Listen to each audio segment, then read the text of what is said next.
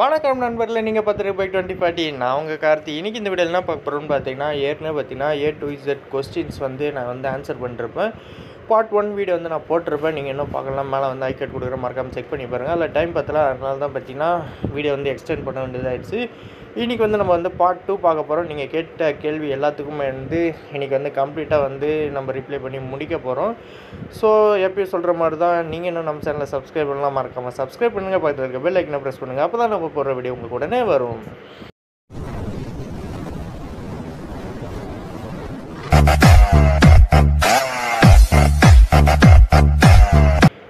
இன்றைக்கி வந்து நம்ம வந்து இது திருப்பி ஆரம்பிப்போம். ஃபஸ்ட்டு என்ன கமெண்ட்லேருந்து ஆரம்பிக்கலாம்னு பார்க்கலாம். இதில் வந்து நம்ம வந்து ரிப்ளை பண்ணியாச்சு. சரி இதோ கேட்டது. பில்டு குவாலிட்டி வந்து எப்படி இருக்குது? கம்பேர் பண்ணுங்கள் என்எஸ் ஒன் சிக்ஸ்டோட அப்புறம் பெட்ரோல் டேங்க்கில் வந்து ரெயின் பண்ண லிங்க் ஆகுதா? இஷ்யூ இருக்குதான்னு கேட்டிருக்காங்க. அப்புறம் கார்னரிங் கான்ஃபிடென்ஸ் வந்து எப்படி இருக்குது? அப்புறம் மைலேஜ் எவ்வளோ தருது? பேக் டிஸ்க் சவுண்ட் இஷ்யூ இருக்கா? அப்புறம் டால் ரைடு கம்ஃபர்டபுளாக இருக்குமா? நீங்கள் என்எஸ் ஒன் சிக்ஸ்டி வாங்க ஏன் அப்பாச்சி வாங்குறீங்க? ஃபால்ஸ் நியூட்ரல் பிரச்சனை இருக்கான்னு கேட்டுறேன். ஃபஸ்ட்டு வந்து நம்ம பில்டு குவாலிட்டியை பற்றி பேசிடுவோம். வண்டியோட பில்டு குவாலிட்டி பார்த்திங்கன்னா ரொம்ப நல்லா இருக்குன்னு சொல்ல முடியாது பட்டு செம்மையாக இருக்குன்னு தான் சொல்லணும். கொஞ்சம் சின்ன சின்ன ப்ராப்ளம் இருக்காது. என்னென்னு பார்த்தீங்கன்னா நம்ம வந்து லைட்டாக கை வைக்கிறது இல்லை கொஞ்சம் புஷ் பண்ணால் அது மாதிரி இருந்தால் எதுவும் சவுண்டு கேட்காது பட்டு நீங்கள் ஓவராக டேங்க்கில் புஷ் பண்ணும்போது இதுவுமே பார்த்தீங்கன்னா அப்போ வந்து லைட்டாக அந்த சவுண்டு கேட்கும் எப்படி சொல்கிறேன்னா அந்த டேங்க் பார்த்தீங்கன்னா நம்மளுக்கு வந்து மூணு பார்ட்ஸாக இருக்குது. லெஃப்ட் சைடு தனியாக இருக்கும் ரைட் சைடு தனியாக இருக்கும் சென்டரில் வந்து தனியாக இருக்கும். மூணு பார்ட்ஸாக தனித்தனியாக நம்மளுக்கு வந்து சேர்த்து வச்சுருவாங்க பார்த்தீங்கன்னா லைட்டாக கை வைக்கும்போது அந்த சவுண்ட் வந்து கேட்கும் மற்றபடி குவாலிட்டி வைஸ் பார்த்தீங்கன்னா அருமையாக வந்து கொடுத்துருக்காங்க. அதில் வந்து டிவிஎஸ் வந்து எந்த விதமான காம்ப்ரமைஸும் பண்ணல. அப்புறம் பார்த்தீங்கன்னா ரெயின் வாட்டர் லீக்கேஜ் வந்து இருக்குதான்னு கேட்டிருக்கீங்க. கண்டிப்பாக இருக்குது. நான் அந்த ப்ராப்ளம் வீடியோலேயே சொல்கிறப்ப இப்போ வந்து நான் டேங்க் யூஸ் பண்ணுறதுனால எனக்கு வந்து அந்த ப்ராப்ளம் வந்து இல்லை. பட் நான் டேங்க் கவர் யூஸ் பண்ணாமல் இருக்கும்போது பார்த்தீங்கன்னா எனக்கு வந்து அந்த ப்ராப்ளம் வந்து இருந்தது. பெட்ரோல் டேங்கில் பார்த்தீங்கன்னா அந்த ரெயின் வாட்டர் வந்து இறங்குச்சு. இப்போ நான் வந்து இப்போ டேங்க் கவர் யூஸ் பண்ணுறதுனால அந்த ப்ராப்ளம் வந்து எனக்கு இப்போதைக்கு இல்லை. அதுக்கப்புறம் கார்னரிங் வந்து எப்படி இருக்காது கான்ஃபிடென்ஸ் வந்து எப்படி இருக்குன்னு கேட்டிருக்கீங்க. கார்னரிங் வந்து பார்த்திங்கன்னா கிட்டத்தட்ட ஆவரேஜ்னு சொல்லலாம். ஏன்னா உங்களுக்கு வந்து இது டிவிஎஸ் டயர் யூஸ் பண்ணியிருக்கனால பார்த்தீங்கன்னா இது கார்னரிங் பண்ண முடியுது நல்லா பட் ஒரு கான்ஃபிடென்ஸ் வந்து இன்ஸ்பயர் பண்ண மாட்டேங்குது. அந்த டயர் வந்து க்ரிப் வந்து அந்த அளவுக்கு இல்லை ரியர் டயர் அதனால் வந்து கொஞ்சம் வந்து கான்ஃபிடென்ஸ் வந்து கம்மியாக தான் இருக்குது பட் கா நீங்கள் வந்து கார்னரிங் பண்ணும்போது வேறு லெவலில் இருக்குது. எப்படி சொல்லணும்னா ஒரு நைன்ட்டிலேருந்து நீங்கள் வந்து ஒரு சிக்ஸ்டி ஃபைவ் அந்த அளவுக்கு வந்து சிக்ஸ்டிலேருந்து செவன்ட்டி செவன்ட்டி கூட நீங்கள் வந்து படுக்க வைக்கலாம். செவன்ட்டிக்கு கீழே போகும்போது பார்த்திங்கன்னா உங்களுக்கு வந்து கொஞ்சம் கான்ஃபிடென்ஸ் வந்து கம்மியாகுது. எங்கே வி ஸ்லிப் ஆயிருமோன்ற ஒரு பயம் வந்து வருது. இதே வேறு டயர் நீங்கள் யூஸ் பண்ணிட்டீங்கன்னா கண்டிப்பாக கார்னரிங் வந்து வேறு லெவலில் இருக்குன்னு சொல்லலாம். கார்னரிங் வந்து நல்லா இருக்குது பட் இந்த டயர் க்ரிப்புனால கொஞ்சம் வந்து அந்த கான்ஃபிடென்ஸ் வந்து கம்மியாகுது. மற்றபடி வந்து கார்னரிங் வந்து செம்மர்னு சொல்லலாம். அடுத்து வந்து மைலேஜ் வந்து எவ்வளோ தருதுன்னு கேட்டிருக்கீங்க. சிட்டியில் பார்த்தீங்கன்னா எனக்கு வந்து ஃபிஃப்டி ப்ளஸ் கிடைக்குது. ஃபிஃப்டிலேருந்து ஃபிஃப்டி த்ரீக்குள்ளே வந்து சிட்டிக்குள்ளே வந்து கிடைக்குது. ஹைவே போயிட்டிங்கன்னா ஃபிஃப்டி ஃபைவ் ப்ளஸ் வந்து கிடைக்கும். ஃபிஃப்டி ஃபைவ்லேருந்து ஃபிஃப்டி எயிட் இந்த ரேஞ்சில் வந்து கிடைக்குது. உங்களுக்கு மைலேஜை பொறுத்த வரைக்கும் ஃபிஃப்டி ப்ளஸ் வந்து எப்படி வந்து கிடச்சிரும்? நிறைய பேர் வந்து மைலேஜ் தான் கேட்குறீங்க. கண்டிப்பாக வந்து கூடிய சீக்கிரம் வந்து மைலேஜ் டெஸ்ட் பண்ணி நான் வந்து வீடியோ போடுறேன். சிட்டிக்குள்ளே வந்து எந்த அளவு மைலேஜ் வந்து கிடைக்குதுன்ட்டு. அடுத்து வந்து பார்த்திங்கன்னா பிரேக்கில் ரியர் பிரேக்கில் வந்து நாய்ஸ் இருக்கா கேட்குறீங்க. ஏன் பைக்கில் வந்து இது வரைக்கும் நான் ஒரே ஒரு வாட்டி மட்டும் அந்த ப்ராப்ளம் வந்து ஃபேஸ் பண்ணேன். அது ஒரு ரெண்டு நாளைக்கு அதுக்கப்புறம் வந்து சரியாயிடுச்சு நான் அது ஏற்கனவே சொன்ன மாதிரி தான். டிஸ்க் பேட்டில் வந்து உங்களுக்கு வே- ஈரம் இருந்தால் வந்து அந்த சவுண்ட் வந்து வரும். மற்றபடி அது வேறு எந்த ப்ராப்ளமும் இல்லை. அதுக்கப்புறம் டால் ரைடருக்கு வந்து இந்த பைக் வந்து செட் ஆகுமா கேட்டிருக்கீங்க. ஒரு சிக்ஸ் ஃபீட்டுக்குள்ளே இருந்தால் கண்டிப்பாக வந்து செட் ஆகும். அதுக்கு மேலே இருக்கவங்களுக்கு செட் ஆகும். ஏன் வந்து செட் ஆகுதுன்னு பார்த்தீங்கன்னா அந்த லெக் ரூம் வந்து கொஞ்சம் கம்மியாக இருக்கும். மற்ற பைக்கில் பார்த்தீங்கன்னா உங்களுக்கு வந்து அது நல்லாயிருக்கும் நீங்கள் டக் பண்ணி ஓட்ட வந்து வேறு லெவலாக இருக்கும். இதில் வந்து அது கொஞ்சம் கம்மியாக இருக்கனால பார்த்தீங்கன்னா சிக்ஸ் ஃபீட்டு மேலே போகும்போது கொஞ்சம் பைக் வந்து சின்னதாக இருக்க மாதிரியும் அதே நேரத்தில் பார்த்தீங்கன்னா உங்களுக்கு அந்த கால் வந்து கரெக்டாக அந்த டேங்கில் வந்து ஃபிக்ஸ் ஆகாது. அது ஒன்று தான் ப்ராப்ளம் மற்றபடி எல்லாருக்கும் பைக் பார்த்திங்கன்னா செட் ஆகும் பக்காவாக இருக்கும். அதுக்கப்புறம் பார்த்திங்கன்னா நான் வந்து ஏன் என்எஸ் வாங்காமல் அப்பாச்சி வாங்கினேன்னு பார்த்தீங்கன்னா என்எஸ் ஒன் சிக்ஸ்டி பார்த்திங்கன்னா இன்ஜின் வந்து கொஞ்ச நாள்ல வந்து ப்ராப்ளம் வைக்குதுன்ற மாதிரி அது வாங்கிட்டு இருந்த எனக்கு முன்னாடி வாங்கின ரெண்டு ஃப்ரெண்ட்ஸ் வந்து சொல்லியிருந்தாங்க. ஸோ அதனால் பார்த்திங்கன்னா நான் என்எஸ்ஸை விட்டு இந்த அப்பாச்சிக்கு வந்தேன் மெயின் காரணம் இன்ஜினுக்காக தான் வந்தது. அதுக்கு அடுத்து பார்த்தீங்கன்னா ஃபால்ஸ் நியூட்ரல் பிரச்சனை இருக்கா கேட்டிருக்கீங்க. எனக்கு இது வரைக்கும் அந்த பிரச்சனை வந்தது கிடையாது. பட் எனக்கு இந்த பிரச்சனை பார்த்தீங்கன்னா அந்த நியூட்ரல் லைட் மட்டும் எரியாது நியூட்ரல் பண்ணால் எரியாது அந்த பிரச்சனை வந்துச்சு. பட் அதுவும் இப்போ சரியாயிடுச்சு மற்றபடி வேறு எந்த ப்ராப்ளமும் இப்போதைக்கு இல்லை.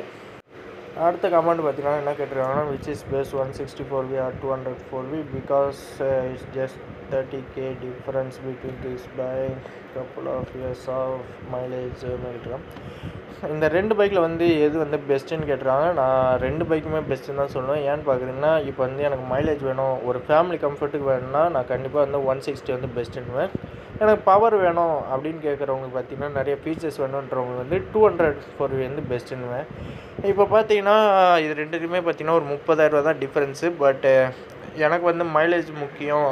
எனக்கு ஃபேமிலி ஓரியன்ட்டாக ஒரு பைக் வேணும். கொஞ்சம் ஸ்போர்ட்ஸ் லுக்காக ஒரு பெரிய பைக்காக வேணும்னா கண்டிப்பாக நீங்கள் வந்து ஒன் சிக்ஸ்டி ஃபோர் வி வந்து போகலாம் அது வந்து நல்ல ஒரு பெஸ்ட் பைக்னே சொல்லலாம். இந்த ஒன் சிக்ஸ்டி சீரீஸில் வந்து. அதுக்கப்புறம் வந்து எனக்கு வந்து கொஞ்சம் பவர் வந்து அதிகமாகணும். நான் ரொம்ப லாங்லாம் போவேன். அதுக்கப்புறம் பார்த்திங்கன்னா எனக்கு ஃபீச்சர்ஸ் வந்து நிறைய வேணும். அப்படின்றவங்க ஸ்போர்ட்ஸ் மோடு ரெயின் மோடு இது மாதிரி நிறைய ஃபீச்சர்ஸ் வந்து எனக்கு வேணுன்றவங்க பார்த்தீங்கன்னா நீங்கள் வந்து டூ ஹண்ட்ரட் ஃபோர் வந்து போகலாம் இதுக்கு ப்ரைஸ் டிஃப்ரென்ஸ் பார்த்தீங்கன்னா உங்களுக்கு வந்து ரொம்ப கம்மி தான் அப்புறம் மைலேஜ் வந்து உங்களுக்கு டிஃபர் ஆகும். அது பார்த்தீங்கன்னா உங்களுக்கு வந்து தேர்ட்டி ஃபைவ் அந்த ரேஞ்சு தான் வரும் டூ ஹண்ட்ரட் ஃபோர் இது பார்த்தீங்கன்னா உங்களுக்கு ஃபார்ட்டி ஃபைவ்லேருந்து ஃபிஃப்டி வந்து தாராளமாக வந்து எல்லா பைக்குமே உங்களுக்கு வந்து வரும். ஸோ இவ்வளோ தான் உங்களுக்கு வந்து டிஃப்ரென்ஸு இந்த ரெண்டு பைக்குக்கு அடுத்து வந்து என்ன காமெண்ட் கேட்டிருக்காங்க? பார்த்தீங்கன்னா ப்ரோ பைக்குக்கு அடியில் ஒரு ஒயிட் அண்ட் பிளாக் டியூப் மாதிரி தொங்குது ப்ரோ அது என்னால் யூஸ் சொல்லுங்கள் ப்ரோ ப்ளீஸ் பைக்குக்கு கீழே பார்த்தீங்கன்னா ரெண்டு டியூப் வந்து வரும். ஒன்று பார்த்தீங்கன்னா ஒயிட் கலரில் வந்து பெரியஸாக இருக்கும். இன்னொன்று பார்த்தீங்கன்னா பிளாக் கலரில் சின்னதாக இருக்கும். இது ரெண்டு டியூப் வந்து எதுக்குன்னு பார்த்தீங்கன்னா ஒன்று வந்து பெட்ரோல் வந்து ஓவர் ஃப்ளோ இதுக்கு வந்து ஒரு டியூப் வந்து கொடுத்துருக்காங்க. அது வந்து பிளாக் கலர் அதுக்கப்புறம் பார்த்தீங்கன்னா அந்த பெரிய ஓஸ் வந்து ஒன்று கொடுத்துருப்பாங்க ஒயிட் கலரில் அது எதுக்கு பார்த்தீங்கன்னா டேங்க்கில் வந்து பெட்ரோல் வந்து பெட்ரோல் ரெண்ட் டேங்க்கில் வந்து பார்த்திங்கன்னா வாட்டர் வந்து உள்ளே வருது பார்த்தீங்களா வாட்டர் அப்புறம் டஸ்ட்டு அதுக்கப்புறம் பார்த்திங்கன்னா நம்ம டேங்க்கில் வந்து கேஸ் ஃபார்ம் ஆகும். இதெல்லாம் பார்த்தீங்கன்னா வெளில போகிறதுக்கு பார்த்தீங்கன்னா அந்த பெரிய டியூப் வந்து கொடுத்துருப்பாங்க. பட் அதுக்கு வந்து யூஸ் இல்லாத மாதிரி தான் நினைக்கிறேன். அந்த கேஸ் வெளில போகலாம். பட் வாட்டர் வந்து போகிறதுக்கான இது வந்து அவங்க லெஃப்ட் சைடு கொடுத்துருக்கணும். பட் அவங்க வந்து ரைட் சைடு கொடுத்துருக்காங்க. பிஎஸ் ஃபோரில் பார்த்தீங்கன்னா அவங்களுக்கு வந்து லெஃப்ட் சைடில் கொடுத்துருப்பாங்க. அது வந்து செம்ம யூஸ்னு சொல்லலாம். இப்போ டேங்க்குள்ளே தண்ணி போனாலும் சரி அந்த டியூப் வழியாக வெளில வந்துடும் பட்டு இன்ஜெக்டர் வந்து நம்மளுக்கு லெஃப்ட் சைடில் கொடுத்துருக்கனால அந்த ஹோல்ஸ் வந்து பார்த்திங்கன்னா ரைட் சைடில் கொடுத்துருக்காங்க. அதனால் வந்து சைட் ஸ்டாண்ட் போட்டு நம்ம எங்கேயோ நிப்பாட்டிருக்கோம் அந்த நேரத்தில் மழை பெஞ்சுது. டேங்க் கவர் போடல இல்லை வந்து ஸ்டிக்கரிங் எதுவுமே அந்த கேப்பில் வந்து பண்ணலன்னு பார்த்தீங்கன்னா வாட்டர் வந்து அப்படியே உள்ளே தான் இருக்கும். நீங்கள் டப்புன்னு வந்து பைக்கை சென்டர் ஆக்கிட்டிங்கன்னா உங்கள் டேங்க்குள்ளே வந்து வாட்டர் போகிறதுக்கான வாய்ப்பு வந்து இருக்குது. வந்து இருந்த மாதிரியே லெஃப்ட் சைடு வந்தால் அது ஒரு நல்ல யூஸாக அடுத்து என்ன கமெண்ட் இருக்குன்னு பார்ப்போம். கொஞ்சம் பிளராக இருக்குது. கரெக்டாக ஜூமிங் வச்சுப்போம். ஆ okay bro NS one sixty பெஸ்ட்டாக இல்லை? அப்பாச்சி ஒன் சிக்ஸ்டி ஃபோர் பெஸ்ட்டாக ப்ரோ ஒரே கன்ஃபியூஷனாக இருக்குது கொஞ்சம் ஒரு பைக் பண்ணுறதுல வந்து கன்ஃபியூஷனாக இருக்கு போல். அதை எக்ஸ்பிளைன் பண்ணி கேட்டுருக்காங்க. ஃபஸ்ட்டு பார்த்தீங்கன்னா ஒரு கன்ஃபியூஷன் இருக்கலாம். என்எஸ் ஒன் சிக்ஸ்டி வாங்குறதா இல்லை RTR one sixty four V வாங்குறதானே? அந்த கன்ஃபியூஷன் வந்து எதில் வரும்னு பார்த்தீங்கன்னா அந்த பவரில் தான் வரும். இப்போ அதையும் பார்த்தீங்கன்னா டிவிஎஸ் சைட்லேருந்து சாப்பிட்ற மாதிரி என்ன பண்ணிட்டாங்க பார்த்தீங்கன்னா ஒன் சிக்ஸ்டி ரேஞ்சிலே வந்து ஒரு டாப் பவர் வந்து இப்போ வந்து இந்த டுவெண்ட்டி டுவெண்ட்டி ஒன் அப்டேட்டில் பார்த்தீங்கன்னா ஆர்டிஆர் வந்து கொடுத்துட்டாங்க.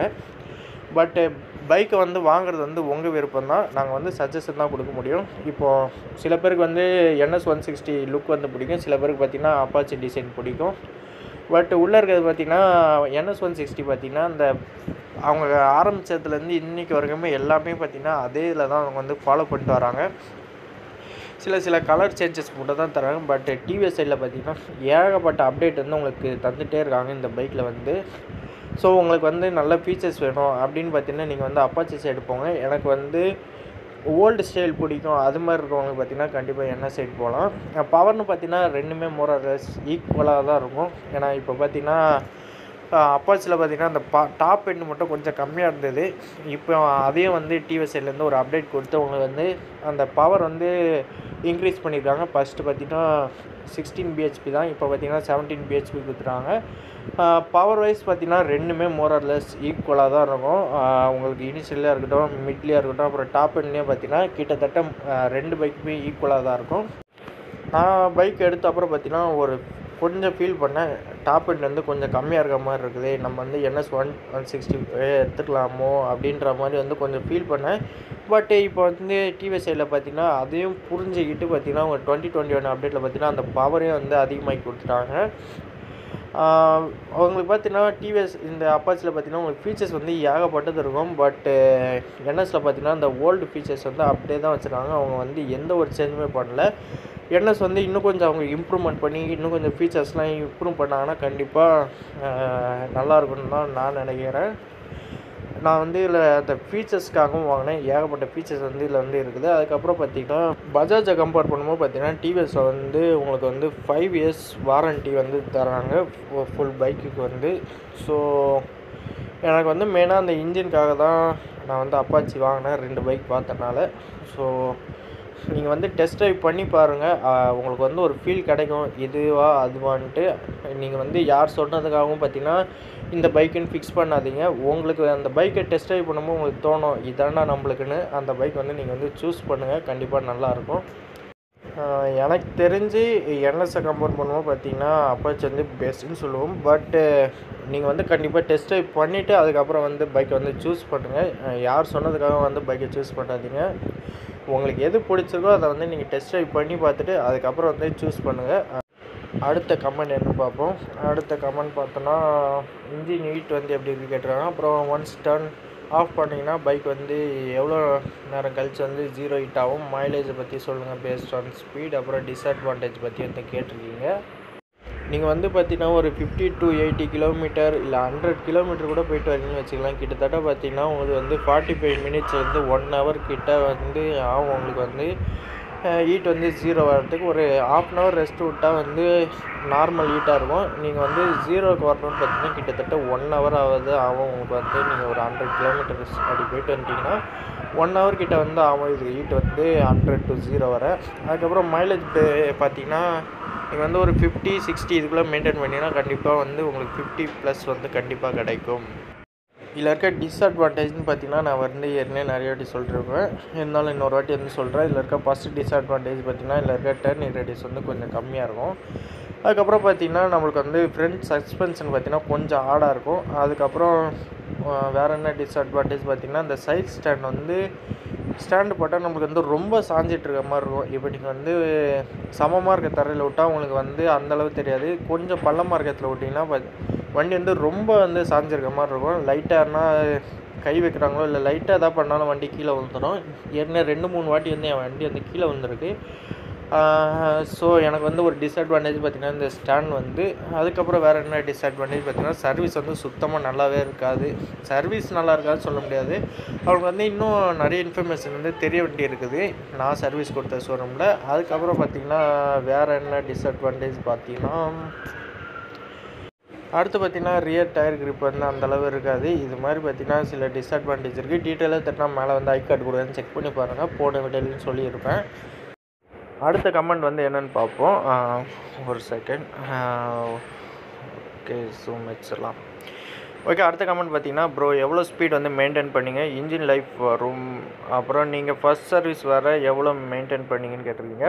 நான் ஃபஸ்ட்டு வந்து நான் ஃபஸ்ட் சர்வீஸ் வரைக்கும் வந்து எவ்வளோ மெயின்டைன் பண்ண பார்த்துக்கலாம். நான் வந்து ஃபிஃப்டி டு சிக்ஸ்டி வந்து தான் ஃபுல்லாக வந்து ஃபஸ்ட் சர்வீஸ் வரைக்கும் நான் வந்து மெயின்டைன் பண்ணேன். நீங்கள் வந்து ஒரு ஆயிரத்துலேருந்து ரெண்டாயிரம் கிலோமீட்டர் வரைக்கும் வந்து பார்த்தீங்கன்னா இந்த ஃபிஃப்டி டு சிக்ஸ்டி வந்து மெயின்டைன் பண்ணுங்கள் யாருமே பார்த்தீங்கன்னா டாப் ஸ்பீட் வந்து செக் பண்ணி பார்க்காதீங்க. அப்போ தான் பார்த்தீங்கன்னா உங்கள் இன்ஜின் வந்து செட் ஆகும் ஏன்னு பார்த்தீங்கன்னா புது இன்ஜினாக இருக்கும். நீங்கள் வந்து எடுத்தோடனே டாப் ஸ்பீட் எவ்வளோ போகுது? அது மாதிரி வந்து விரட்டி இரட்டி பார்த்துட்டிங்கன்னா எப்படி சொல்கிறேன்னா இன்ஜின் லைஃப் வந்து சுத்தமாக வராது எடுத்துன்னு போயிடும் ஏன்னு பார்த்தீங்கன்னா நம்ம இன்ஜினும் அதுக்கப்புறம் போரும் அப்புறம் பிஸ்டனும் பார்த்தீங்கன்னா உங்களுக்கு வந்து நல்லா டைட்டாக இருக்கும். ஏன்னா புதுசுனால பார்த்தீங்கன்னா உங்களுக்கு வந்து ஃப்ரிக்ஷன் வந்து அதிகமாக இருக்கும். அந்த நேரத்தில் பார்த்தீங்கன்னா நீங்கள் வந்து எவ்வளோ டாப் ஸ்பீடு போகுதுன்னு இன்ஜினை வந்து ரொம்ப ஸ்ட்ரெஸ் பண்ண ஆரம்பிச்சிங்கன்னு பார்த்தீங்கன்னா அந்த ரொம்ப உங்களுக்கு வந்து அந்த டைட்டாக இருக்கும் அது வந்து. அப்போ வந்து உங்களுக்கு தேய்மானம் வந்து ஓவராக கண்ணா பின்னான்னு ஆயிரும். அப்போ பார்த்தீங்கன்னா உங்களுக்கு வந்து இன்ஜின் லைஃப் போயிடும் மைலேஜ் கிடைக்காது. சீக்கிரமாக இன்ஜின் வந்து ஃபால்ட் ஆகிறதுக்கான வாய்ப்பு வந்து நிறைய இருக்குது ஸோ ஒரு ஆயிரத்துலேருந்து ரெண்டாயிரம் கிலோமீட்ரு நீங்கள் வந்து ஒரு எப்படி சொல்லணும் ஒரு ஃபஸ்ட் சர்வீஸ்லேருந்து ஃபஸ்ட் சர்வீஸுன்ற ஒரு ரெண்டு சர்வீஸ் வரைக்குமே நீங்கள் வந்து இந்த ஃபிஃப்டி டு சிக்ஸ்டி வந்து மெயின்டைன் பண்ணிங்கன்னா உங்கள் இன்ஜின் லைஃப் வந்து சாலிடாக பார்த்தீங்கன்னா ஒரு அறுபதுலேருந்து எண்பதாயிரம் கிலோமீட்டர் வந்து எல்லாருக்குமே கிடைக்கும். நீங்கள் அதுக்கப்புறம் வண்டியை வந்து எப்படி மெயின்டைன் பண்ணுறீங்க சர்வீஸ் வந்து ரெகுலராக பண்ணுறீங்க இது மாதிரி எல்லாம் பக்காவாக பண்ணிங்கன்னா கிட்டத்தட்ட ஒரு எண்பதுலேருந்து ஒரு லட்சம் கிலோமீட்டர் வரைக்கும் வந்து உங்கள் இன்ஜினை வந்து எந்த ஒரு வேலையுமே பார்க்க தேவையில்ல. பக்காவாக வந்துருக்கும். அதுக்கப்புறம் வந்து நான் வந்து எவ்வளோ ஸ்பீட் மெயின்டைன் பண்ணுவேன் சொல்லிட்டேன்? ஐம்பதுலேருந்து அறுபது.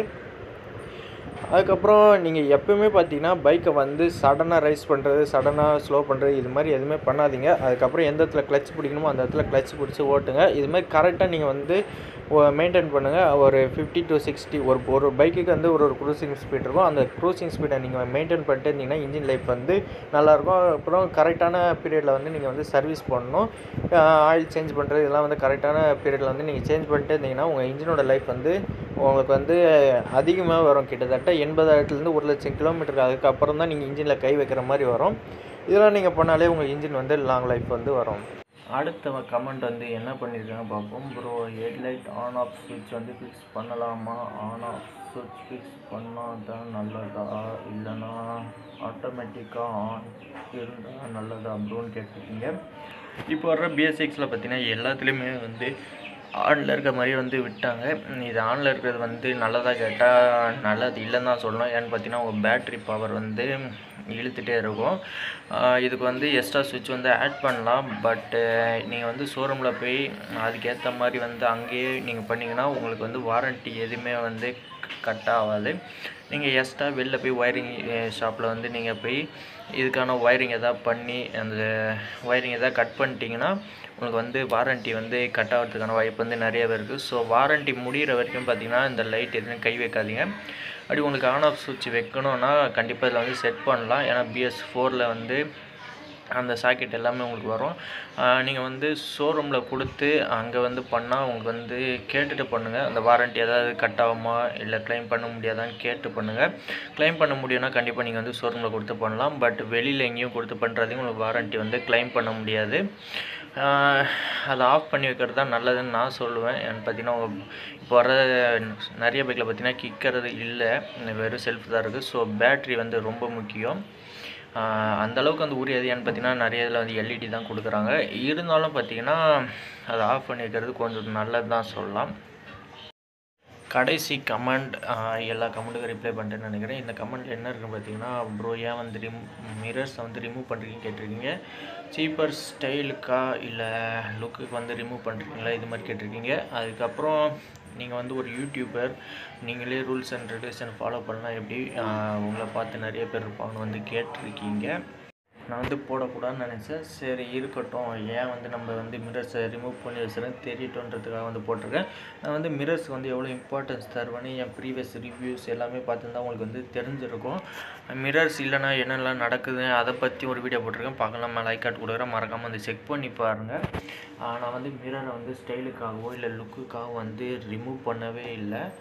அதுக்கு வந்து ஒரு காரணம் இருக்குது ஏன்னு பார்த்தீங்கன்னா ஒரு சின்ன விஷயத்தால் பார்த்தீங்கன்னா மிரர்ஸ் வந்து உடஞ்சி போச்சு. ஒரு நிமிஷம் நான் அதை வந்து எடுத்துகிட்டு வந்துடுறேன். வந்துட்டேன்.